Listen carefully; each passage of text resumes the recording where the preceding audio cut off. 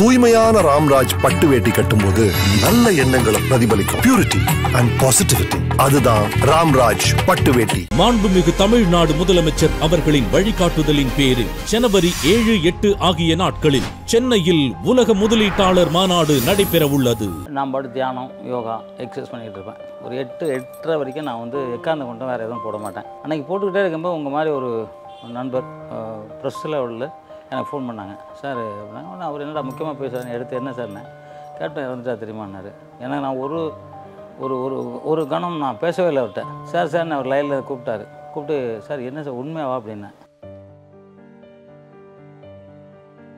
என்னால் சமாளிக்க முடியல. நான் அன்னைக்கு அப் அந்த நிமிஷத்துலேருந்து அவர் அடக்கம் பண்ணுற வரைக்கும் நான் சாப்பிடல. என்னால் முடியல. எங்கள் நினைவுகள்லாம் அப்படியே பின்னோக்கி போயிடுச்சு. ரொம்ப காலமாக நாங்கள் என்ன சொல்கிறது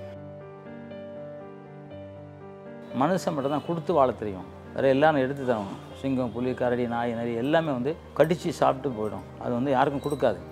ஆனால் மனுஷன் மட்டும்தான் கொடுக்குறதுக்கு மனுஷருக்கு அது கொடுத்து வாழணும். அது சும்மா அவர் குழந்தையாக சிரிப்பார். அதாவது வந்து கள்ளம் கபடமே இல்லாமல் ஒரு சிரிப்புன்னா அது கேப்டன் விஜயகாந்தோட சிரிப்பு தான் ரொம்ப தங்கமான மனுஷன். ஏன்னா புரட்சித் தலைவர் பொன்மன செம்மல் இவர் பொன்மன செல்வன். நான் என்ன பண்ணுவேன்னாரு? நீங்கள் வந்து திறக்கணும். அது திறந்துட்டா போச்சு. என்னைக்கு திறக்கணும் அப்படின்னாரு. இல்லை செகண்ட் ஸ்டாண்டாக வச்சுக்கலாம். அப்போ தான் எல்லாத்துக்கும் நமக்கு லீவாக இருக்கும். அப்புறம் தான் சொன்னேன் இது மாதிரி இளைய தளபதி விஜயம் வரேன்ட்டாரு அப்படின்னு சொன்னேன். தம்பி வராப்லையா? சரி நீ ஒன்று பண்ணு. தம்பிக்கு போஸ்ட் அடி கட்ட ஒரு தம்பிக்கு விளம்பரம்லாம் தம்பிக்கு ஒன்று எனக்கு ஒன்றும் பண்ண நான் வந்துடுவேன் அப்படின்னாரு. அங்கேருந்தே விஜய்க்கு ஃபோன் பண்ணேன். விஜய் சொன்னேன் ஷூட்டிங்கில் இருக்கேன். என்ன விஷயம்னாரு? சொல்லுங்கள் வந்துடுறேன். எப்போனா செகண்ட் ஸ்டாண்ட் வரேன்னாரு. இப்போ அவர்கிட்ட சொன்னேன் கேப்டனாக வராருன்னு. அண்ணன் வராதா அண்ணனுக்கு பெரிய பெரிய கட்டோட போஸ்ட்லாம் அடிங்க. எனக்கு ஒன்றும் அடிக்கக்கூடாது. நான் பாட்டுக்கு வருவேன். நான் வர்றதும் தெரிய போகிறதும் தெரியக்கூடாது. அண்ணனுக்கு தான் எல்லாம் பண்ணணும் இதே தான் சார் அவரும் சொன்னார் என்கிட்ட அப்படின்னா. என்ன சொன்னார்? இல்லை உங்களுக்கு தான் அடிக்கணும் அவருக்கு அடிக்கக்கூடாங்கிறார் நீங்கள் அவருக்கும் அடிக்கணும் அப்போ ரெண்டு பேரும் அடிக்கலன்னா அப்போ எனக்கு எப்படி என்ன பப்ளிசிட்டி பண்ணுறது அதெல்லாம் எனக்கு தெரியாது. அண்ணனுக்கு பரிசு பண்ணுங்க அப்படின்னு சொல்லிவிட்டார் விஜய்க்கு தெரியும் இல்லையா? நம்மளை யார் எதுக்காக கொண்டு வந்தாருன்னு அந்த பாசம் அந்த நேசம் அந்த அன்பு அவர் அந்த பெட்டியில் நின்று அழும்போது பார்த்தீங்கன்னா உண்மையான அழகே தெரிஞ்சுச்சு. நம்ம நடிக்கலாம் இல்லை அவர். அவரை வந்து யாருமே யாருமே அவரை வந்து கேப்டன் ச திட்டவே மாட்டாங்க. அப்படி ஒருத்தன் திட்டிருக்கானா அவன் மாங்காமடையனாக இருப்பான். நண்பனுக்காக தன்னை நாடி வந்தவனுக்காக விட்டு கொடுப்பாரு வழியே காசை வாங்கி அண்டர் கிரவுண்டில் போட்டு அடைக்கணுங்கிற மனுஷன் இந்த மனுஷன் கிடையாது. எனக்கு தெரிஞ்சு.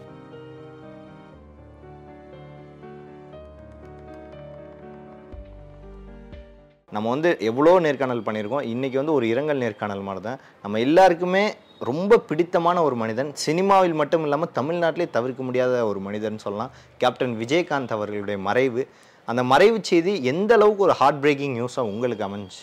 அதான் சார் எனக்கு வந்து யூஸ்வலாக நான் வந்து காலையில் எழுந்திரிச்சோடனே சாமி பாட்டு போடுவேன். நான் பாட்டு தியானம் யோகா எக்ஸசைஸ் பண்ணிகிட்டு இருப்பேன். ஒரு எட்டு எட்டரை வரைக்கும் நான் வந்து எக்காந்த கொண்டும் வேறு எதுவும் போட மாட்டேன். அன்றைக்கி போட்டுக்கிட்டே இருக்கும்போது உங்கள் மாதிரி ஒரு நண்பர் ப்ரெஸ்ஸில் உள்ள எனக்கு ஃபோன் பண்ணாங்க. சார் அப்படின்னா உடனே அவர் என்னடா முக்கியமாக பேசுகிறேன் எடுத்து என்ன சார்னே கேப்டன் இறந்துட்டா தெரியுமான்னாரு. ஏன்னா நான் ஒரு ஒரு ஒரு ஒரு கணம் நான் பேசவே இல்லை அவர்கிட்ட. சார் சார் அவர் லைனில் கூப்பிட்டாரு. கூப்பிட்டு சார் என்ன சார் உண்மையாவா? அப்படின்னேன் ஆமாம் சார் இப்போ நியூஸ் போயிட்டுருக்கு. கேப்டன் இறந்துட்டாருனே எனக்கு அப்படியே உடம்புலாம் ஒரு மாதிரி ஆயிடுச்சு. ஒரு இதோ நம்ம குடும்பத்தில் ஒரு முக்கியமான ரொம்ப ரொம்ப முக்கியமான அவர் இல்லைன்னா நம்மளால் வாழ முடியாதுங்கிற மாதிரி ஒருத்தர் இருப்பார்ல. அவர் இறந்துட்ட போன அந்த ஃபீல் எனக்கு வந்துச்சு. உடனே டிவி போட்டு பார்த்தேன் கேப்டன் தவறிட்டாருன்னு என்னால் கட்டுப்படுத்த மாட்டேன் அழுதுட்டேன். அதுட்டு என்னடா அது கேப்டன் இப்படி தான் இருந்தார்? அவர் இறக்கக்கூடாதே விட்டா இருந்தார் அப்படின்னு பார்த்தா அஞ்சு மணிக்கு இறந்துட்டார் அப்படின்னாங்க. என்னால் சமாளிக்க முடியல. நான் அன்னைக்கு அப் அந்த நிமிஷத்துலேருந்து அவர் அடக்கம் பண்ணுற வரைக்கும் நான் சாப்பிடல. என்னால் முடியல. அதுக்கப்புறம் தான் நான் அடக்கம் பண்ணதுக்கப்புறம் தான் நைட்டு வந்து வந்து லைட்டாக கொஞ்சம் சாதம் போட்டு ரசம் போட்டு சாப்பிட்டேன். அது சாப்பிடலன்னா அவருக்கே பிடிக்காது. கேப்டனுக்கே பிடிக்காது. அதனால் என்னால் சாப்பிட முடியல. அதான் உண்மையான விஷயம். எங்கள் நினைவுகள்லாம் அப்படியே பின்னோக்கி போயிடுச்சு. ரொம்ப காலமாக நாங்கள் என்ன சொல்கிறது என்னை பைக்கில் கூட்டு கொண்டு போய் என்னை பஸ் ஸ்டாண்ட்லலாம் விடுவார். நான் ஆயிரத்தி தொள்ளாயிரத்தி எழுபத்தி ஒம்பது எழுபத்தொம்போது அப்போ வந்து நான் புரட்சித் தலைவர் வீட்டில் எழுபத்தேழுலேருந்து புரட்சித் தலைவர் வீட்டில் இருக்கேன் எம்ஜிஆர் அவங்க வீட்டில். மகாராஜனே ஒரு மாஸ்டர் வந்து என்னை வந்து இந்த மாதிரி விஜயகாந்த் ஒரு பையன் வந்து சிலம்பம் கற்றுக்கணுங்கிறாப்புல நீ பண்ணுறது நல்லா இருக்கும் நீ கற்றுக் கொடுக்குறியா அப்படின்னாரு. ஓகே நான் வரேன் அப்படின்னு சொன்னேன். அவர் போய் அந்த டி நகரில் அந்த ஹோட்டல் ரூமில் தங்கியிருந்தார். அங்கே போய் பின்னாடி லாஸ்ட் ரூமில் ஒரு சின்ன ரூம் இருக்கும். அதில் தங்கியிருந்தார். இப்போ அங்கே போயிருந்தேன். போயிருக்கும்போது அவர் என்னை பார்த்த உடனே இப்போ நான் ஒல்லியாக இருப்பேன். அந்த அந்த மாதிரி இருப்பேன் பார்த்துங்க. வந்து சிலம்பம் எவ்வளோ நாள் கற்றுருக்கா? அப்படின்னு கேட்டார். சும்மா ஒரு பதினஞ்சு வருஷமாக கற்றுருக்கேன். அப்படின்னேன். பதினஞ்சு வருஷமா? அப்படின்னாரு. அப்போ அவர் சொன்னார் சுற்றி காமிக்க சொல்லுங்கள் விஜய். பார்க்குறேன் சுற்றி காமிச்சேன். அவர் அப்படியே கைத்தட்டி கட்டி பிடிச்சிக்கிட்டார். அதாவது ஒரு தமிழ் விளையாட்டு இந்த அளவு வந்து மறைஞ்சு போகலை. இன்னும் இருக்குங்கிறது எனக்கு சந்தோஷமாக இருக்குது ஏன்னா ஏதோ கம்பை தூக்கி கம்பு அவங்கள சுற்றுதா கம்பை சுற்றுறாங்கன்னு தெரியாத அளவுக்கு தான் இப்போ இருக்காங்க. நீ வந்து இவ்வளோ வேகமாக சுற்றுறிய நான் இது மாதிரி கற்றுக்கணும் எவ்வளோ நாள் ஆகுனாரு சார் நீங்கள் சினிமாவுக்காக கற்றுக்கினா ரெண்டு நாளில் நான் உங்களுக்கு கொடுத்து சொல்லி கொடுத்துட்றேன் இதே மாதிரி கற்றுக்கினா ஒரு ஆறு மாதம் ஆகுனேன் நான் ஆறு மாதம் கற்றுக்குறேன் எனக்கு வந்து ஃபுல்லாக இது மாதிரி வேணும். அப்புறம் என்னெல்லாம் பண்ணுவார்? அப்புறம் அதுலேயே வந்து செடி குச்சி மான் கம்பு டபுள் கம்பு குத்து வரிசை. கராட்டை கட்டாசு நுங்சாக்கு இதெல்லாம் செஞ்சு காமிச்சேன். ரொம்ப திருப்தி ஆகிட்டார் ரொம்ப திருப்தி ஆகிட்டு அன்றைக்கே பூஜை போட்டார். பூஜை போட்டு அங்கே வந்து ட்ரைனிங் கொடுத்தோம். கொடுக்க ஆரம்பிக்கும் போது எனக்கு ஒரு பெரிய அதிசயத்தை ஒன்று கண்டுபிடிச்சேன். என்னென்னா புரட்சி தலைவர் விட்டு யார் போனாலும் சரி சாப்பிடாம விட மாட்டார். இவர் வர்றவங்கள சாப்பிடாம விடல. அப்போ பைக்கு தான் வச்சுருந்தாரு. பெரிய ஹிட்டு படம் ஒன்றும் அப்போ வந்து வந்துடல சும்மா அப்கமிங்கில் அப்படியே போயிட்டுருக்காரு அப்போ நாங்கள் கேட்கும்போது அவர் ஒரு வார்த்தை சொன்னார். நான் எல்லா சேனல்லையும் சொன்னேன். மனுஷன் மட்டும் தான் கொடுத்து வாழ தெரியும். வேறு எல்லாரும் எடுத்து தரும் சிங்கம் புலி கரடி நாய் நரி எல்லாமே வந்து கடித்து சாப்பிட்டு போயிடும். அது வந்து யாருக்கும் கொடுக்காது. ஆனால் மனுஷன் மட்டும்தான் கொடுக்குறதுக்கு மனசு இருக்குது அது கொடுத்து வாழணும். அது மாதிரி நான் வந்து என்னால் முடிஞ்சது இப்போ இது இருக்குது நான் கொடுக்குறேன். இன்னும் வளர்ந்துட்டேன்னு நான் கொடுப்பேன் அப்படின்னு சொன்னார். என்னால் இப்போ தான் சொன்னேன் சார் நான் புரட்சி தலைவர் வீட்டில் இருக்கேன். சாப்பிடாம யாரையும் விட மாட்டார். அதே மாதிரி நீங்கள் இருக்கீங்க. நிச்சயமாக இறைவன் உங்களை பெரிய இடத்துக்கு கொண்டு போய் சேர்ப்பார். எந்த மாற்று கருத்தும் இல்லைன்னு. சும்மா அவர் குழந்தையா சிரிப்பார். அதாவது வந்து கள்ளம் கபடமே இல்லாமல் ஒரு சிரிப்புன்னா அது கேப்டன் விஜயகாந்தோட சிரிப்பு தான். வேறு எல்லாரும் சிரிக்கிறதும் பாருங்கள் ஒரு சின்ன உள்ளர்த்தத்தை வச்சு சிரிப்பாங்க. அந்த மனுஷன்கிட்ட மொத்தம் கள்ள கப்படமே இருக்காது. பிடிச்சி சிரிச்சுக்கிட்டு அணைச்சிக்கிட்டு என்னை சாப்பிட வச்சு அழகு பார்த்துட்டு அமிச்சார் இன்னும் எதில் வந்திருக்கானா நான் வந்து குன்றத்தூர்லேருந்து வருவேன். எங்கள் அண்ணன் வீடு அங்கே இருக்குது அங்கேருந்து வருவேன். அப்படிங்கும்போது நான் கூப்பிட்டு விடவானார். அன்றைக்கி வந்து மகாராஜன் மாஸ்டர் அவர் இருந்தாலும் அவர் கூட்டு போயிட்டார். அவர் ரெகுலராக வரும்போது என்னை வந்து ஷூட்டிங்லாம் சொல்லிடுவார். நாளைக்கு நான் ஷூட்டிங் இருந்தால் சொல்லுவார். நாளைக்கு ஷூட்டிங் இருக்க வேண்டான்டுவார் ஷூட்டிங்லாம் வருவேன். வந்தால் என்ன பஸ் ஸ்டாண்ட் வரைக்கும் அவர் தான் ட்ராப் பண்ணுவார். அது ட்ராப் பண்ண அவசியமே இல்லை. இன்னும் ட்ராப் பண்ணுவேன் என்ன அப்படி பிடிக்கும் அவருக்கு. ரொம்ப தங்கமான மனுஷன். ஏன்னா புரட்சித் தலைவர் பொன்மன செம்மல் இவர் பொன்மன செல்வன். ரெண்டு பேருக்கும் அவர் சிகப்பு ஒரு கருப்பு. அவரும் தனியாக கஷ்டப்பட்டு ஜெயிச்சார் இவரும் தனியாக கஷ்டப்பட்டு ஜெயிச்சார். அவரும் மக்களுக்கெல்லாம் வாரி வாரி கொடுத்தாரு இவரும் மக்களுக்கெல்லாம் வாரி வாரி கொடுத்தாரு. ஒரே ஒரு வித்தியாசம். அவருக்கு தலைவர் தலைவர் குழந்தை கிடையாது குழந்தை இருக்குது அது ரெண்டு தான். வேறு ஒன்று தான். பட் எல்லா வகையிலும் அவரும் அவரும் ஒரே தான். அவருக்கு சிகப்பு எம்ஜிஆர் இவர் கருப்பு எம்ஜிஆர். உங்களுக்கும் அவருக்கு எத்தனை வருஷம் சார் பழக்கம்? அது அப்ப ரெண்டாயிரத்தி அதான் எழுபத்தொம்போதுலேருந்து பழக்கம். எழுபத்தொம்போதுலேருந்தே பழக்கம். கிட்டத்தட்ட இருபது இங்கிட்ட ஒரு நாற்பது வருஷத்துக்கு மேலே. நாற்பத்தஞ்சு நாற்பது நாற்பத்தஞ்சு வருஷம் பழக்கம். ஆனால் ஒரு எல்லாரும் சொல்கிற விஷயம் கேப்டன் அந்த இடத்துல வந்தாலும் எவ்வளோ பெரிய சண்டை இருந்தாலும் அந்த சண்டை அப்படியே நிற்கும் இல்லை கேப்டன் வந்துட்டாருன்னு சொன்னால் அமைதியாகி எல்லாம் அமைதியாக கிளஞ்சு போயிடுவாங்க அப்படின்னா ஏன் ஏன் எதனால? அவர் மேலே பயமா? எப்படி அது? அது நடந்திருக்கா அப்படி ஒரு சம்பவம்? இல்லை சார். தர்மத்துக்காக நியாயத்துக்காக கேப்டன் போராடுவார். அது யாராக இருந்தாலும் சரி. நீங்கள் பார்த்துங்க சட்டசபையிலே அன்றைக்கி புரட்சித் தலைவர் இருக்கிறவங்க அளவுக்கு யாருமே அது மாதிரி பண்ணதில்லை. அது மாதிரி பண்ணுறாருன்னா அவருக்கு அன்னைக்கு அந்த இடத்துல தப்புன்னு தெரிஞ்சால் கேட்பார். அவ்வளவுதான். அது வந்து தப்பு. யார் தான் சொல்லுவார் அவர் சொல்லுவார் தங்கம்பலம் தப்புன்னு என்ன தட்டி கேட்டே ஆகணும் நம்ம எதுக்கு கேட்கக்கூடாது? அதெல்லாம் கேட்பார். அதே மாதிரி சார் அவர் வந்து எங்கள் வீட்டில் இப்போ நான் அவர் படத்தை வச்சுருக்கேன் அப்படின்னு சொன்னீங்க இல்லையா? எங்கள் வீட்டில் ஜிம்மு ஓப்பன் பண்ணுறோம் சார். ஜிம்மு ஓப்பன் பண்ணும்போது ஒரு பெரிய நடிகர் அவரும் என் ஸ்டூடெண்ட் தான். மட்டும் ஒரு மாதம் ஒன்றரை மாதமாக கேட்டுக்கிட்டே இருக்கேன். தரேன் நாளைக்கு தரேன் நாளைக்கு தரேன் ஒன்றரை மாதம் ஆயிடுச்சு. எனக்கு ஜிம்மு கிட்டத்தட்ட ஒரு நாற்பது லட்ச ரூபாய்க்கு மேலே போட்டு அது ஜிம்மு திறக்கணும் அப்படின்ட்டு ஆர்வமாக இருக்குது உடனே அப்போ உடனே என்ன பண்ணலாம்? சரி கேப்டன் கேட்டு பார்ப்போம். அப்படின்னு சொல்லி கேப்டன் ஃபோன் பண்ணேன். உடனே அவர் வந்து ஃபிலிம் ஷீட்டில் இருக்கேன் தங்கம். என்ன அப்படின்னா இல்லை உங்களை பார்க்கணும். சரி வாங்க ஃபிலிம் ஷீட் வாங்க. நான் ஃபிலிம் ஷீட் போனேன். நான் போகும்போது எனக்கு டிஃபன் ரெடியாக பண்ணிட்டாரு. நாங்கள் சாப்பிட்டு தான் போனேன். டிஃபன் டிஃபன் வைங்கிறாரு அவர் ஏற்றாவில் உட்காந்து டிஃபன் சாம்பாரெல்லாம் ஊற்றி டிஃபன் கொடுக்குறாரு. டிஃபன் சாப்பிட்டுக்கிட்டே இருக்கும்போது என்னன்னாரு நான் ஒரு ஜிம் ஒன்று திறக்கலான்னு இருக்கேன். ஓ எல்லோரும் நல்லா அப்படியே வைக்கணும் நல்ல விஷயம் தானே துறை. நான் என்ன பண்ணுவேன்னாரு நீங்கள் வந்து திறக்கணும். அது திறந்துட்டா போச்சு. என்னைக்கு திறக்கணும் அப்படின்னாரு. நீங்கள் டைம் சொல்லுங்கண்ணே.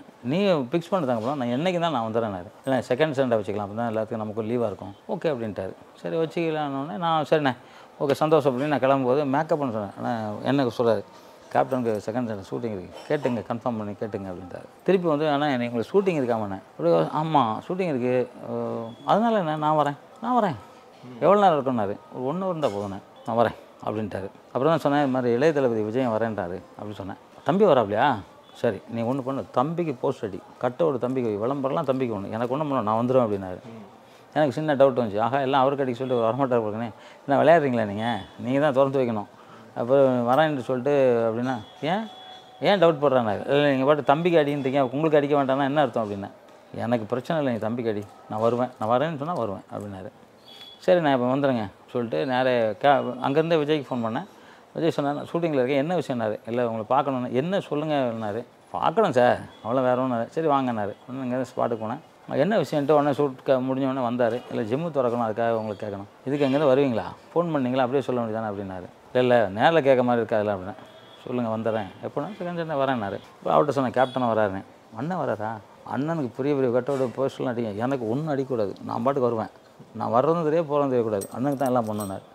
இதே தான் சார் அப்புறம் சொன்னார் என்கிட்ட அப்படின்னேன் என்ன சொன்னார்? இல்லை உங்களுக்கு தான் அடிக்கணும் அவருக்கு அடிக்கக்கூடாங்கிறாரு நீங்கள் அவருக்கும் அடிக்கணும் அப்போ ரெண்டு பேரும் அடிக்கலன்னா அப்போ எனக்கு எப்படி என்ன பப்ளிசிட்டி பண்ணுறது அதெல்லாம் எனக்கு தெரியாது. அண்ணனுக்கு பரிசு பண்ணுங்க அப்படின்னு சொல்லி விட்டார் திறக்கிறோம். நான் ரெண்டு பேரும் இந்த பக்கம் கேப்டன் இந்த பக்கம் விஜய் போட்டு இன்விடேஷன்லாம் அடிச்சிட்டேன். அடித்து எல்லாருக்கும் கொடுத்துட்டேன். கொடுத்துட்டு ஃபங்க்ஷன் இது மாதிரி ஞாயிற்றுக்கிழமை ஆறு மணிக்கு மேலே ரிப்பன் கட் பண்ணுறாரு கேப்டனே போட்டேன். இந்த கார்னரில் கூட்டம் ஆரம்பித்து அந்த ரோடு இருக்குல்ல அதை தாண்டி கூட்டம். ஐயோ சரியா பிளாக் ஆயிருக்கும் எல்லாம். முதல்ல போலீஸ் வந்து பர்மிஷன் கேட்டு எழுதி வாங்கினேன். கேட்கும்போது பர்மிஷன் கேட்டேன் என்ன உண்மைதான் திறக்கிறீங்க? ஓகேன்ட்டாங்க. எழுதி கொடுங்க சார்ன்ட்டு எழுதி வாங்கிட்டேன். கூட்டத்தை பண்ண எனக்கு ஏசி இன்ஸ்பெக்டர் போகணும் என்னங்க இது மாதிரி ஏதோ கூட்டம் எங்களுக்கு பர்மிஷன் வாங்கல. சார் இந்தாங்க பர்மிஷன் இருக்கு எழுதி வாங்கி நீங்கள் உங்கள்கிட்ட வாங்கியிருக்கேன் அப்படின்னா சார் என்ன சார் இவ்வளோ கூட்டம் கூட்டிருக்கீங்க அப்படின்னாரு. இல்லை சார் அதுக்கு தான் சார் உங்கள்கிட்ட பர்மிஷன் கேட்டேன்னா அப்போ திருப்பி ஒரு பத்து போலீஸ் அமிச்சார் ஐம்பது அமிச்சார் நூறு போலீஸ் வந்தாங்க. எனக்கு அவ்வளோ கூட்டம். ஏன்னா வேறு வழி இல்லாமல் கூட்டம் ஆயிடுச்சு நானும் கராட்டே ட்ரெஸ் போட்டு ஒரு நூறு பேர் வச்சுருந்தேன். ஏன்னா ரெண்டு பேரும் பெரிய நடிகர்கள். எதுனா பெரிய அது இல்லாமல் ராமராஜ் சார் வந்தார். இவர் வடிவேலு விவேக்கு க- மும்தாஜ் அப்புறம் டாஃபாக இருந்தாங்க மும்தாஜ் இவங்க நிறைய பேர் வந்தாங்க. அதனால் நான் வந்து கொஞ்சம் நானும் சேவ் பண்ணியிருந்தேன். இப்போ ஒரு நாலே கால் நாலரை இருக்கும் ஒரு பையன் வந்து விஜய் சார் கார் நிற்குதுங்க அப்படின்னா. ஆறு மணி தான்டா அவர் சொன்னேன் இப்போ எப்படி வருவார்னா போய் பார்த்தா விஜய் கார் நிற்குது அந்த காரனில் போய் ஓரமாக நின்று நிற்கிது போனால் அப்புறம் அவங்க ஒய்ஃபும் உட்காந்துருக்காங்க என்ன சார்ண்ணே இல்லை ஆறு மணி ராகாலம் அப்போ அப்புறம் முன்னாடியே கிளம்பி வந்துருக்கேன் நீங்கள் இப்போ உங்கள் வேலையை பாருங்கண்ணே ஏங்க வாங்க அப்படின்னு சொல்லி கூப்பிட்டு உட்கார வச்சுட்டு கேப்டன் ஒரு ஒரு பார்த்தா ஆறு ஆச்சு ஆறு ஆச்சு வரல கேப்டன் இந்த பக்கம் வண்டி கிண்டி வருதா பார்த்தா வரல. என்னடா அது கேப்டன் விட்டேன் வரமாட்டார் போல இருக்கு. பார்த்துக்கிட்டே இருக்கும்போது திடீர்னு வந்துட்டார் மேலே நிற்கிறாரு இங்கெல்லாம் பசங்கள்லாம் வெயிட் பண்ணுறாங்க இவர் மேலே வந்துட்டார். என்னண்ணே எப்படி வந்தீங்கன்னா பைக்கில் வந்துட்டார். ஐயோ ஒரு அன்புக்கு ஒரு இது சொல்கிறேன் ஒரு ஒருத்தர் ஃப்ரண்டில் ஓட்ட வச்சுட்டு ஷூட்டிங் ஸ்பாட்லேருந்து பைக்லேயே வந்துட்டார். ஆறு மணிக்கு வந்தால் பப்ளிக்கில் தெரிஞ்சுன்னா ஆறரை மணிக்கு வராரு. நான்லாம் விடவெடுத்து போயிட்டேன். என்னங்க நீங்கள் எப்படிங்க பைக்கில் வந்தீங்க? இதெல்லாம் தப்பு இல்லையா? இல்லை தம்மா உனக்கு லேட் பண்ணக்கூடாதுல்ல நான் ஒரு து- ஒரு இது சொல்லிட்டேன்னா நான் வரணும். நியாயமாக நீ வந்து ஒரு ஜிம்மு திறக்கிறா. மக்களுக்காக நல்லது பண்ணணும்னு நினைக்கிறேன். வரணும்னு தான் வந்தார். வந்து அவர் தான் ரிப்பன் கட் பண்ணார். கட் பண்ணிட்டு உள்ளே வந்தோடனே நான் போட்டிருந்தேன். ரிப்பன் கட் பண்ண கேப்டன் விஜயகாந்த் அவர்கள். ஜிம் ஒர்க் அவுட் பண்ணி பண்ணுறது விஜய் அவர்கள் போட்டிருந்தேன். அந்த ஃபோட்டோ ஆமாம் இப்போ வந்து விஜய் சார் வந்து ஒர்க் அவுட் பண்ணுறாரு கேப்டன் கேட்குறாரு அது ஏன் நான் செய்ய மாட்டேனா? எனக்கு தெரியாதா? எல்லாம் நிற்கும் கலகலப்பாக சிரிச்சு அப்புறம் அவர் வந்து அவரும் பண்ணார் இவரும் பண்ணார். ரெண்டு ஃபோட்டோ என்கிட்ட இருக்குது பண்ணி அதான் அந்த ஃபோட்டோ தான். ஏன்னா வாசலில் வச்சுருக்கேன். இது வந்து அவர் எப்பவும் வருஷம் வருஷம் அவர் போய் மாலை போட போவேன். எப்போதுமே அவர் வந்து எல்லா அதான் எனக்கு ஒரு அண்ணன் மாதிரி சொல்லலாம் எங்கள் அப்பா மாதிரி சொல்லலாம். என்னோட சின்னவர் தான் வயசில். அதனால் நான் அதெல்லாம் சொல்லலாம். அப்படி ஒரு உரு அதாவது நடிப்பாங்கள்ல நிறைய பேர். இங்கே நம்மகிட்ட சொல்லுவாங்க அந்த பக்கம் போனால் வேறு மாதிரி பேசுவாங்க அந்த பேச்சே கிடையாது. அந்த வெள்ளை உள்ளம் அப்படின்னு தான் அந்த மனிதனுக்கு மட்டும்தான் எனக்கு தெரிஞ்சு வெள்ளை உள்ளம்ங்கிறது அவர் தான் அந்த மாதிரி ஒரு நல்ல மனுஷன். அவர் வந்து அவர் இறந்தா நான் ரெண்டு நாள் சாப்பிடாம இருந்ததான் என்ன பண்ணுறது இறைவன் கூட்டு போயிட்டார். ஒன்றுமே பண்ண முடியல. நம்மளால் என்ன பண்ண முடியும்? ஒன்றும் பண்ண முடியல. நான் முதலே சொன்னேன் கேப்டன் கொஞ்சம் யோகாலாம் பண்ணி நல்லா இருங்க. ஏன்னா சராசரி எல்லாருக்குமே நூற்றி இருபத்தஞ்சி வயசு சார். சராசரியா. உங்களுக்காக இருக்கட்டும் எனக்காக இருக்கட்டும் எல்லாருக்கும் நூற்றி வயசு ஆனால் அவர் வந்து எழுபது வயசில் இறந்துட்டார். ஒரு ஐம்பது ஐம்பத்தஞ்சு வருஷம் இருக்கலாம் அவர். இருந்திருக்கலாம். அதே தான் சார். இன்னும் ஒரு முக் முக்கியமான விஷயம். அது வந்து யாராலும் ஏற்றுக்கொள்ள முடியாத ஒரு இழப்பு. அண்ட் நீங்கள் ஒரு விஷயம் சொன்னீங்களே சார். விஜய் அண்ட் விஜயகாந்த் அண்ணன் தம்பி. அவங்க படத்தில் தான் அண்ணன் தம்பி அப்படி செந்திரோப்பானில் வந்து இப்போ வரைக்குமே எல்லாரும் பேச போடக்கூடிய ஒரு கேரக்டர் நீங்கள் சொன்ன ஜிம் பிக்சரு இப்போ ரீசெண்ட் டைமில் பயங்கர வைரல் கேப்டன் உட்காந்து ஜிம் பண்ணிட்டு இருப்பாரு. இங்கே விஜய் நின்றுட்டு இருப்பாரு. அந்த இது நான் எல்லா எல்லா மீடியாவும் தான் வைரலாகவே இருக்குது அந்த ஒரு காம்பினேஷன் இருக்குல்ல சார் அது எப்படிப்பட்ட காம்பினேஷன் சார் ஏன் விஜய் விஜயகாந்த் சாருக்கு விஜய் மேலே இவ்வளோ ஒரு அன்பு? விஜய் அவர்களுக்கு விஜயகாந்த் மேலே ஏன் சார் இவ்வளோ ஒரு அன்பு? சார் ரெண்டு பேரும்னா எஸ்ஏசி எல்லா மீடியாவிலும் சொல்லியிருக்காரு என்கிட்ட பர்சனலாகவும் சொல்லியிருக்காரு. ஒரு விஜய் சார் அப்போ தான் வந்துக்கிட்டு இருக்காரு. சிட்டிக்குள்ளே வரைக்கும் விஜய் தெரியுது அவுட் ஆஃப் சிட்டி சி சென்டர்லாம் அவருக்கு அவ்வளோ பழக்கம் இல்லை. சி சென்டரில் படமும் ஓடலை. அப்போ விஜய் எஸ்ஏ சந்திரசேகர் சார் என்ன நினைக்கிறாருன்னா சரி கே- கேப்டனை வச்சு ஒரு படம் தம்பிக்கு நடிக்க வச்சுட்டாக்க பட்டி தொட்டிலாம் போயிடும். ஏன்னா விஜயகாந்த் அந்த கிக் அடிச்சார்ல கிக்கு உலகம் ஃபுல்லாக பிரசுத்த ஆகிட்டார் அந்த கிக்கு மாதிரி யாரும் அடிக்க முடியாது இல்லையா அப்போல்லாம் ரோப்புலாம் கிடையாது கிராபிக்ஸ்லாம் கிடையாது. ஒரிஜினல் அடிச்சார். அதனால் இவர் வச்சு பண்ணால் கொஞ்சம் நல்லாயிருக்கும் அப்படின்னு நினச்சி விஜயகாந்த் பெருமதிப்பு உரிய எஸ் ஏ சந்திரசேகர் அவர்கள் கேப்டனுக்கு ஃபோன் பண்ணுறாரு கேப்டன் ஃபோன் பண்ணால் கேப்டன் வந்து ஃபோன் எடுக்கிறாரு எடுத்துட்டு சொல்லுங்கள் அப்படின்னு இல்லை விஜய் ஒன்று பார்க்கணும். அப்படி அப்படின்னு சொல்கிறாரு சொல்லுங்கள் எப்போ பார்க்கலாம்? அப்படின்னு கேட்குறாரு வீட்டில் தான் இருக்கீங்களா? வீட்டில் தான் இருக்கேன் அப்படின்றாரு. நான் பத்து மணிக்கு வந்துடுறேன் அப்படின்னாரு. நீங்கள் எங்கே இருக்கீங்க? நான் வீட்டில் தான் இருக்கேன். நான் ரெடியாகி வந்துடுறேன்னு சொல்கிறாரு இது வந்து எஸ்எஸ்சி சார் என்கிட்ட சொன்னது. ஆனால் வந்து என்ன பண்ணார்? ஒரு பத்து நிமிஷத்தில் கேப்டன் வந்து அவங்க வீட்டுக்கு போயிட்டார். யார் வீட்டுக்கு. எஸ்ஏ சார் வீட்டுக்கு போயிட்டார். என்ன விஜய் நான் பிடிக்கவே இல்லைனாரு அதெல்லாம் ஒன்றும் இல்லை. நீங்கள் வரணும்னு அவசியம் இல்லை. நான் வரேன். என்ன விஷயம் சொல்லுங்கள் அப்படின்னோடனே அவர் கொஞ்சம் தயங்குறாரு. என்னடா எப்படி சொல்கிறதுன்னு தயங்குறாரு. சொல்லுங்கள் சும்மா சொல்லுங்கள் அப்படின்னோடனே இல்லை விஜய் தம்பி இப்போ தான் வந்துக்கிட்டு இருக்காப்புல அந்த வீடு வேற விற்றுட்டேன் எனக்கு கொஞ்சம் சிட்டிக்குள்ளே ஓரளவு தெரிஞ்ச வழியாக சி சென்டரில் நான் பி சென்டருக்கு அதெல்லாம் போகலை. ஆனால் என்ன நான் பண்ணணும் உங்களுக்கு? அப்படின்னாரு. எனக்கு கொஞ்சம் நடிச்சு கொடு. அப்படின்னு ஏன் அது என்ன தயங்குறீங்க? நான் தாராளமாக தரேன். நம்ம தம்பி தானே? நான் நடிச்சு கொடுக்குறேன். அப்படின்னு சொல்கிறாரு டேட்டு எப்போ வேணும்னு கேட்குறாரு. உங்கள் டேட்டு சொல்லுங்கள் அப்படின்னு சொல்கிறாரு நீங்கள் சொல்லுங்கள் சார் அப்படின்னா இல்லை விஜய் பிஸியாக இருக்கிறீங்க. நீங்கள் வந்து டெய்லி ரெண்டு கால் ஷீட் பண்ணுறீங்க ஒர்க் பண்ணுறீங்க நான் எப்படி டேட் உங்களுக்கு உங்கள் டீங்க டேட் கொடுங்க. இல்லை நீங்கள் டேட் சொல்லுங்கள் எப்போ சொல்லுங்கள் இல்லை அடுத்த வாரம் கூட சரி நாளைக்கு நாளும் சரிங்கிறாரு. ஒன்றா அவர் சொல்ல அடுத்த வாரம் வச்சுக்கலாம் அடுத்த வாரம் வைக்கலாம். எல்லா ஷூட்டிங்கும் தள்ளி வச்சுட்டு இந்த படத்துக்காக மட்டும் நடித்து கொடுத்தாரு. அப்போ ஒரு வார்த்தை கேட்குறாரு என்ன சம்பளம்? அப்படின்னு கேட்குறாரு. எஸ்எஸ் சார் எதுக்கு சம்பளம் பேசுகிறீங்க தம்பி நல்லா வரட்டும். அப்புறம் பார்த்துக்கலாம். சம்பளம்லாம் வேண்டாம். நான் ஃப்ரீயாக பண்ணி தரேன் அப்படின்னு சொல்லி ஃப்ரீயாக பண்ணி கொடுத்தது அந்த படம். அந்த படம். ஆமாம் அது வந்து விஜய்க்கு தெரியும் இல்லையா? நம்மளை யார் எதுக்காக கொண்டு வந்தாரு அந்த பாசம் அந்த நேசம் அந்த அன்பு அவர் அந்த பெட்டியில் நின்று அழும்போது பார்த்தீங்கன்னா உண்மையான அழகே தெரிஞ்சுச்சு. நம்ம நடிக்கலாம் இல்லை அவர். ஏன்னா அவங்க அண்ணி சொல்கிறாங்க ஓகே கையெடுத்து கும்பிட்றாங்க. போனவர் திரும்பி அப்படியே சோகமாக நிற்கிறார் இதெல்லாம் நடிப்புலாம் நடிப்புனா நமக்கு தெரியும். நம்ம ரெண்டாயிரம் படம் பண்ணிக்கோ நடிப்புனா தெரியும்ல. உண்மையான பாசம். கேப்டன் அவர் மேலே வச்சிருந்தார் அவர் இவர் மேலே வச்சிருந்தார். அதான் அண்ணன் தம்பி பாசம். இன்னும் கேட்டால் அண்ணன் தம்பி தான் அவங்க. அதான் என்ன ஆமாம் அண்ணன் தம்பி தான். ஏன்னா எல்லா வகையிலும் கேப்டன் ஹெல்ப் பண்ணியிருக்காரு. எல்லா வகையிலும் ஹெல்ப் ஹெல்ப் பண்ணியிருக்காரு. அது வந்து அவர் மனசுக்கு தெரியும். அவரோட இறப்புக்கு அவர் வந்து பல நடிகர்கள் நடிகைகள் இறப்புக்கு அவ்வளோ நடிகர் சங்க தலைவராக இருந்தபோது அவ்வளோ ஒரு மரியாதை செஞ்சிருக்காரு. அத்தனை பேரையும் ஒரே இடத்துல கூட்டி ஒரே ஊர்வலமாக நடத்தி கொண்டு போயிருக்காரு. எல்லாருக்குமே தெரியும். அவரோட இட இறப்புக்கு நடிகர் சங்கம் அந்த மரியாதை பெரிய அளவில் பண்ணலையோன்னு எல்லாருக்குமே தோணும் சார். நீங்கள் என்ன சார் நினைக்கிறீங்க? ஓகே.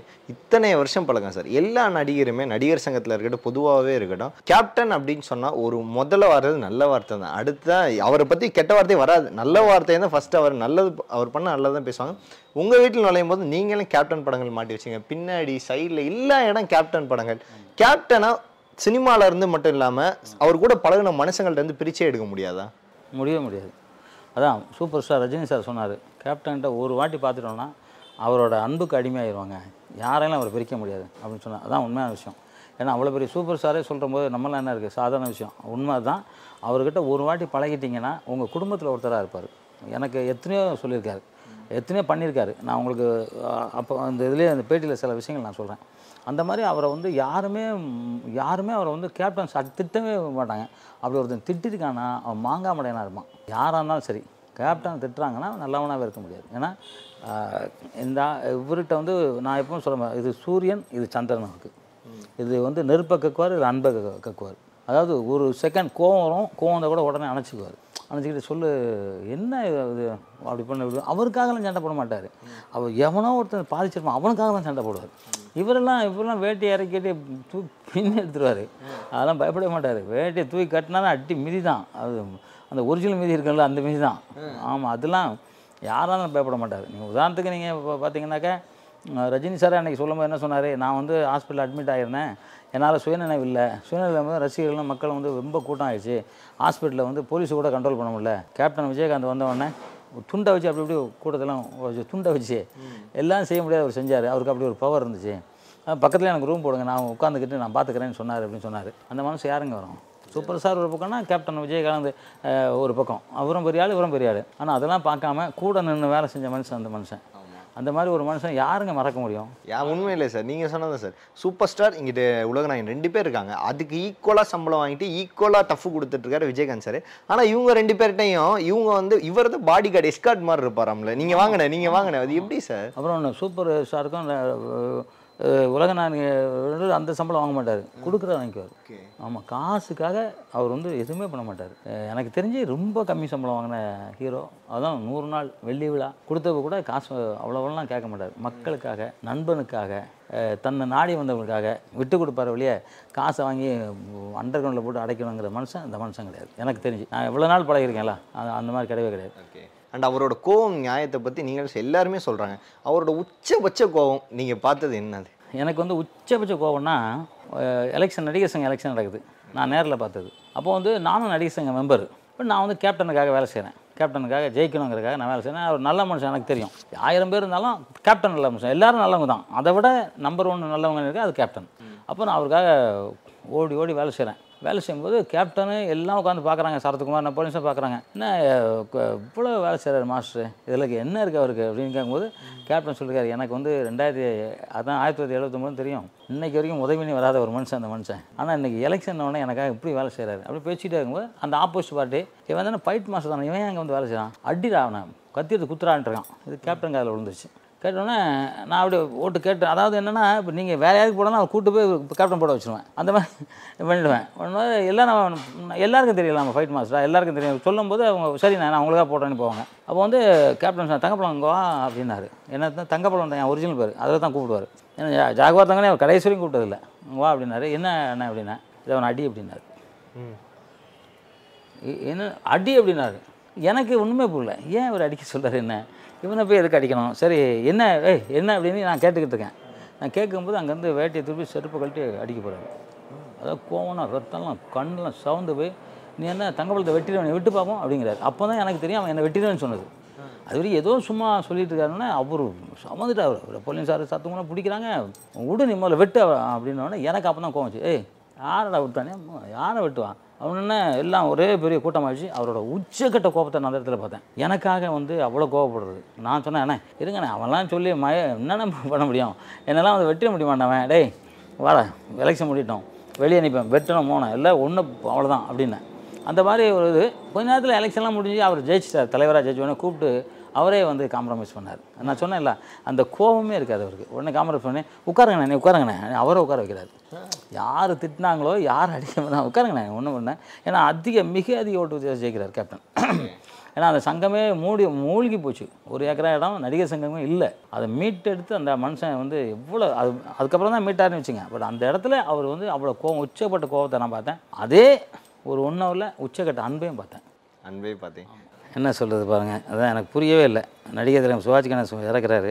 கேப்டன் விஜயகாந்த் ரஜினிகாந்த்லேருந்து அன்னைக்கு இருக்க அத்தனை ஸ்டாருங்களையும் ஒரு வண்டியில் ஏற்றி வச்சு அங்கே கூப்பிட்டு போகிறார் இவர் நடந்து போகிறார் யார்? நடந்து போகிறார் நடந்து போய் கூட்டத்தெல்லாம் ஒதுக்கிட்டு அவருக்கு அது வேலையே இல்லை. ஒதுக்கி கொண்டு போய் நடிகர் திலகத்தை என்ன மாதிரி பண்ணுமோ அது பண்ணுறாரு அது வந்து இன்னைக்கு நம்ம நெஞ்சில் இருக்குது உங்கள் நெஞ்சில் இருக்குது பார்க்குற அத்தனை மக்கள் எல்லாருமே பார்த்துருக்கோம் அதை. பாத்திரம் இருக்குது மனோரமாச்சு. இறக்கும்போது எல்லாரும் அது மாதிரி கூப்பிட்டு போகிறாரு ஒரு தண்ணி பிரச்சனை காவேரி பிரச்சனையில் நடிகர் சங்கத்தை ஒன்றா கூட்டி இங்கேருந்து எல்லா நடிகையும் கூப்பிட்டு போகிறாரு கூப்பிட்டு போகும்போது எங்கன்னா ஒரு ரயில்வே கேட் அப்போல்லாம் ரயில்வே கேட் இருக்கும் இல்லையா? ரயில்வே கேட்ட வண்டி நின்னா இந்த ரெண்டு லிட்ரு ஒரு லிட்டர் கூல்ட்ரிங்க்ஸ் பாட்டில் அடிக்கிட்டு அவரும் தூக்கிட்டு ஓடி வருவார். இப்படி இப்படி இப்படி. வேறு வேறு என்ன வேணும்? கேட்டு ஓடுற ஒரு மாம நெய்வேலி. நெய்வேலிக்கு போகும்போது மாமனிதன். அவர் அவசியமே இல்லை. நடிகர் சங்க தலைவர் பெரிய டாப் நடிகர். அவருக்கு பல கோடிக்கணக்கான ரசிகர்கள் இருக்காங்க. வேட்டியை கட்டிட்டு ஓடி போய் கொடுப்பாரு. நான் கூட ஏன்னா வேலை இல்லை உங்களுக்கு. நாங்கள் போயிருக்கோம். இல்லை தங்க சும்மா நீனு தானே கஸ்டமர் வா. நீ என்ன பன்னெண்டு மாதம் பிறந்தியா பத்து மாதம் தானே.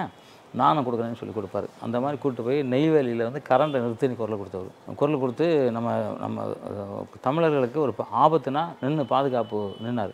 தமிழை நின்று சொல்லடா தலை நிமிர்ந்து நில்லடான்னு ஆணித்தரமாக உறுதியாக சொன்ன மிகப்பெரிய கேப்டன் அவர். தமிழருக்கு இது வந்து தமிழர்களுக்கே உலகமுள்ள இருக்கிற தமிழருக்கு இது பெரிய இழப்பு. அதே மாதிரி பார்த்தீங்கன்னா நடிகர் சங்கத்தில் மீட்டிங் போட்டார்.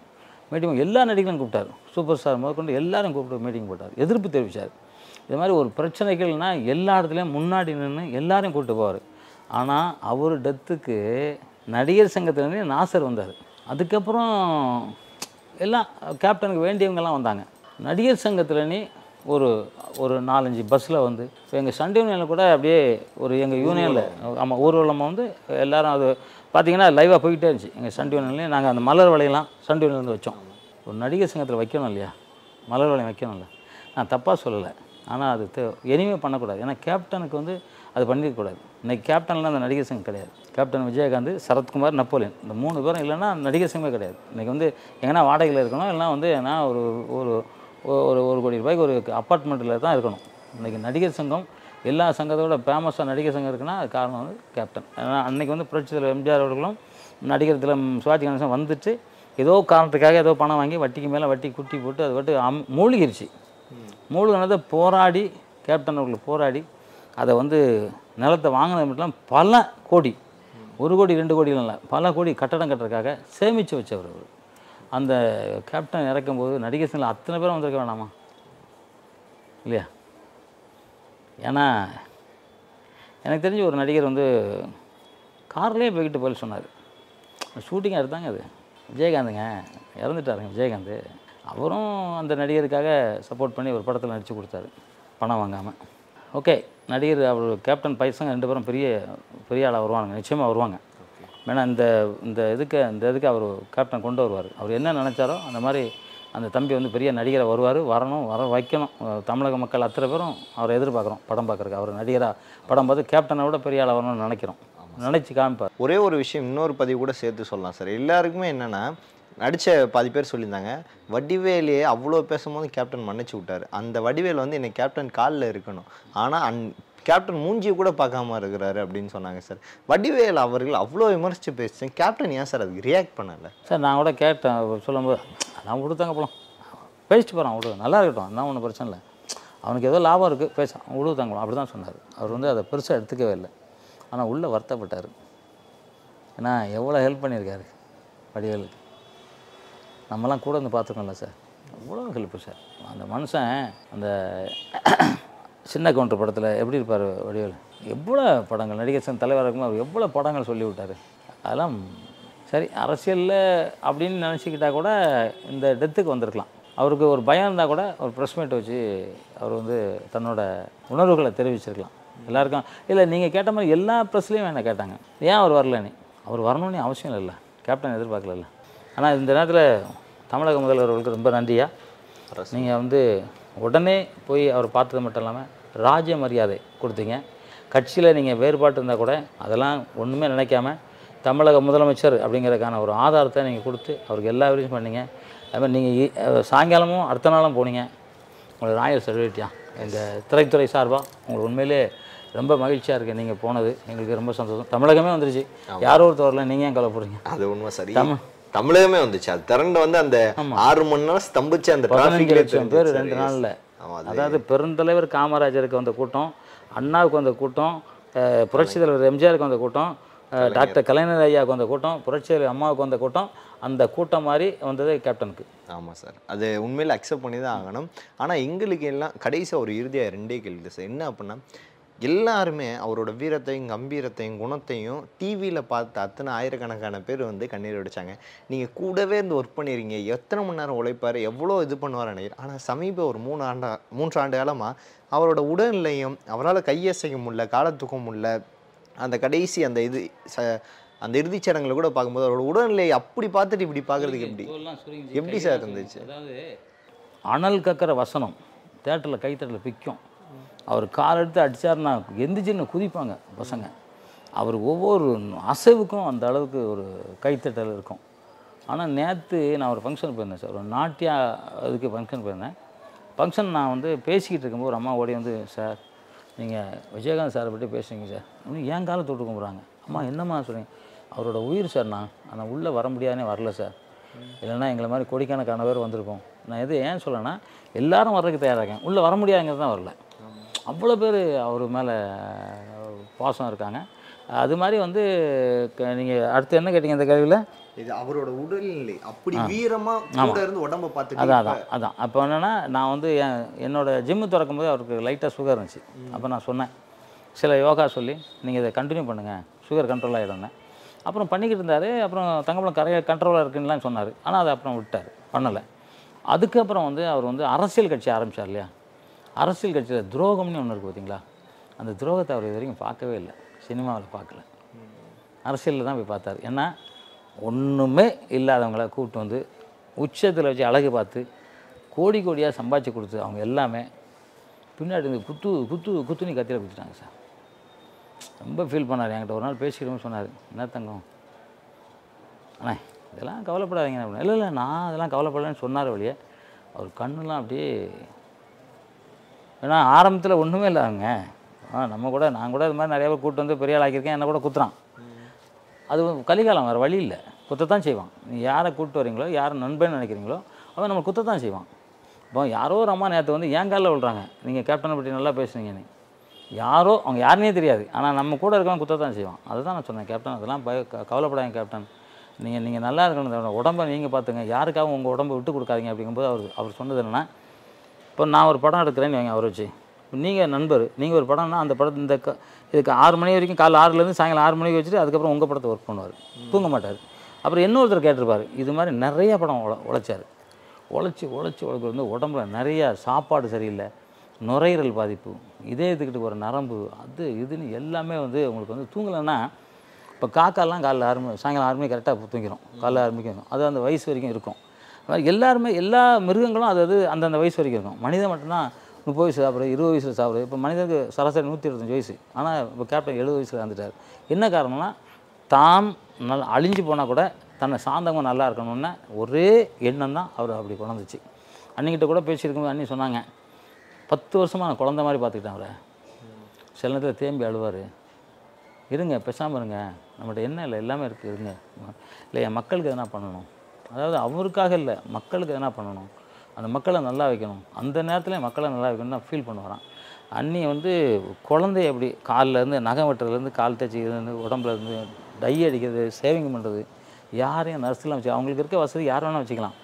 கைப்பட ஒரு குழந்தைய மாதிரி அந்த பார்த்துக்கிட்ட அந்த சக்தி தாய் அந்த அம்மா அவங்களும் நிச்சயமாக அரசியல் பெரிய இடத்த பிடிக்கணும். அது நான் வந்து டெத்தில் அப்படியே உத்து பார்த்தேன்ல என்னால் பார்க்கவே முடியல. என்னென்னா இங்கெல்லாம் சுருங்கிருச்சு. இந்த காது சுருங்கிருச்சு. கை அப்படியே சுருங்கியிருக்கு கை. இந்த கை எதிர்பார்க்கல. கையெல்லாம் அவர் கை பார்த்தா முழு முழுன்னு அழகாக இருக்கும். அந்த கையில் அந்த கையை பார்க்கும்போதே நமக்கு ஆசையாக இருக்கும். சில பேர் கை அப்படி இருக்காது. அவருக்கு மேலே குண்டு அழகாக இருக்கும். இப்போ ஒரு இறைவன் ஒரு ஒரு பார்த்து பார்த்து படைச்சிருப்பார்ல. கருப்பு வந்தாலும் அந்த வைர மாதிரி அந்த மாதிரி அழகு அவர். கண் அழகு. அந்த எந்த பக்கம் பார்த்தாலும் அழகு. அந்த கையெல்லாம் அவ்வளோ அழகாக இருக்கும். அந்த கையெல்லாம் சுருங்கி போச்சு சார். அது காரணம் அவர் வந்து மனசை விட்டார். மனசு கொஞ்சம் வந்து தளர்ந்துட்டார். எனக்கு தெரிஞ்சு அதுதான் காரணம். இல்லைன்னா அவர் ஏன் சார் அவர் சாப்பிட்றாரு என்ன இல்லை? சாப்பாடு இல்லையா? என்ன இல்லை? எல்லாமே இருக்கே. சா ஆஸ்பத்திரியில் போகலையா? என்ன எல்லாமே இருக்கே. இப்போ சுகர்லாம் எத்தனை பேர் இருக்குது சார்? முந்நூறு நானூறுலாம் இருக்குது எத்தனை பேர் சரி பண்ணுறாங்க அதெல்லாம் ஒன்றுமே இல்லையா. ஆனால் வந்து அவர் ஓடா துரோகடா அப்படின்னு நினச்சி ஏன்னா அவர் எனக்கு தெரிஞ்சு சார் அவர் தன்னோட உடம்ப ஃபுல்லாக வருத்திக்கிட்டு அடுத்தவங்களுக்கு உதவி பண்ணிவிட்டு ஒரே மனிதன் கேப்டன் ஓகே. இறுதியாக அவரோட சிரிப்பு யாராலையும் மறக்க முடியாது. அவரோட முகம் பாவனைகள் அவ்வளோ அழகாக இருக்கும் சார். ஆனால் அந்த முகத்தை வந்து மாஸ்க் போட்டு மூடினா தான் சார் எல்லாருக்கும் ரொம்ப கஷ்டம். அவரோட முகத்தை பார்க்க முடியலன்னு அத்தனை பேர் அன்றைக்கி பேட்டி கொடுத்தாங்க சார். நீங்கள் உன் இன்க்ளூட் அது பார்த்துருப்பீங்க. எல்லாருமே அவர் முகத்தை காமிச்சிருக்கலாமே அப்படின்னு சொல்லியிருந்தாங்க சார். நானும் அதை நினச்சேன். ஏன்னா முகத்தை பார்க்க முடியல ஏன்னா இதுக்கப்புறம் தான் பார்த்தோம். இதுக்கப்புறம் தான் கீழே தான் பார்த்தோம். என்ன காரணம்னு எனக்கு தெரியல. அது ஹாஸ்பிட்டல் தான் கேட்கணும். ஏதாவது காரணம். ஒருவேளை கொரோனா இருக்கிறதுனால கொரோனா தானே சொன்னாங்க. அதனால் ஒருவேளை அந்த வேறு யாருக்கும் தொற்றுதல் வந்துடக்கூடாதுங்கிற ஒரு பெருந்தன்மையாக அதை வந்து இது பண்ணியிருக்கலாம். மூக்கோ காற்றோ இல்லை வாயிலேருந்து காற்றோ வரக்கூடாது அப்படின்னு கூட நினச்சிருக்கலாம். நான் நினைக்கிறேன். வேறு எதுவும் காரணம் இருக்காது. அதுதான் காரணமாக இருக்கும். எனக்கு தெரிஞ்சு. கண்டிப்பாக சார். உண்மையிலே நம்ம பேசுகிறோம்னா இதே மாதிரி ஒரு ரெண்டு நாளைக்கு பேசலாம் சார். கேப்டன் பற்றி பேசுறதுக்கு அவ்வளோ விஷயங்கள். ஆனால் என் நான் கேட்டது வரைக்கும் சொல்கிறேன் சார். தமிழ் உள்ளவரை கேப்டனோட பெயர் என்றைக்குமே மங்காது. ம மறக்கவும் முடியாது.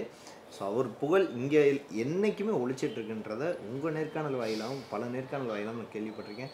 இவ்வளோ நேரம் அவ்வளோ நிறைய விஷயங்களை பயந்துக்கிட்டீங்க சார். அதுக்காக உங்களுக்கு ஒரு நன்றியை தெரிவிச்சுக்கிறேன் சார். நன்றி. உங்களுக்கு நன்றி சார். இதை விடைபெறதுக்கு முன்னாடி மீண்டும் ஒரு முறை நடிகர் சங்கத்துக்கு நம்ம சேனல் மூலிமா ஒரு வேண்டுகோள். நானும் நடிகர் சங்க உறுப்பினங்கிற முறையிலையும் இந்த நடிகர் சங்கத்தை கேப்டன் அவர்களால் மீண்டும் காப்பாற்றப்படுது அந்த ஒரு ஏக்கராங்கிற காரணத்தினாலும் தலைவர்களுக்கும் செயலாளர்களுக்கும் பொருளாளர் அவர்களுக்கும் மற்றும் துணைத் தலைவர் துணை செயலாளர் உட்பட நிர்வாகக் குழு அத்தனை பேருக்கும் பொதுக்குழு உறுப்பினர் அத்தனை பேருக்கும் உங்கள் காலில் விழுந்து ஒரு வேண்டுகோள். நடிகர் சங்கம் கட்டி முடித்தவுடன் முதல் பேர் கேப்டன் விஜயகாந்த். புரட்சி கலைஞர் கேப்டன் விஜயகாந்த் அப்படின்னு பதிவிடணுங்கிறதுக்கு நான் வந்து நான் மட்டும் இல்லை தமிழ்நாட்டில் வந்து கோடான கோடி மக்கள் சார்பாக கேட்டுக்கிறேன். நிச்சயமாக அதை நீங்கள் பண்ணணும். பண்ணியே தீரணும் அப்படிங்கிறது என்னோட ஆசை. உங்கள் இது மூலயமா கேட்டுக்கிறேன். உங்களுக்கும் நம்ம சேனலில் உள்ள அத்தனை நிர்வாகிகளுக்கும் உங்களை மாதிரி நல்லவங்களுக்கும் மனமார்ந்த வாழ்த்துக்கள். நீங்கள் வந்து ரெண்டு நாள் கேப்டன் ரெண்டு நாள் மூணு நாள் அங்கேயே இருந்து உங்கள் கை கால் கூட அசைக்க முடியாத அளவுக்கு பத்திரிகையாளர் அனைவருக்கும் உண்மையிலே கரம் கூப்பி சிரம் தாழ்த்தி நான் வணக்கத்தை தெரிவிச்சுக்கிறேன்.